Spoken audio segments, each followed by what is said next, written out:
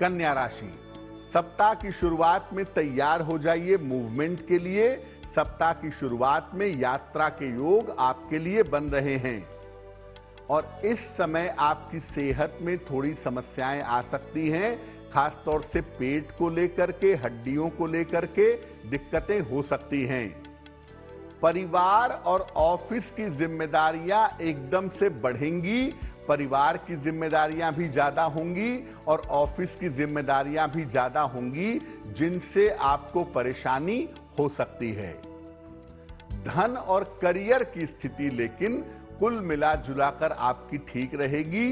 धन और करियर को लेकर के ज़्यादा चिंता नहीं करनी है। स्थान परिवर्तन और संपत्ति खरीदने की योजना इस समय आप बना सकते हैं।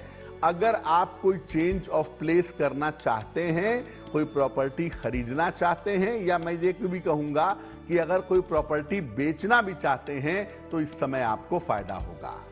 तो देखिए, कन्या वाले इस समय अगर योजना बनाकर काम करें, अगर प्लानिंग करके काम करें तो कन्या राशि वालों के बहुत सारे काम इस समय आसानी से पूरे हो जाएँगे।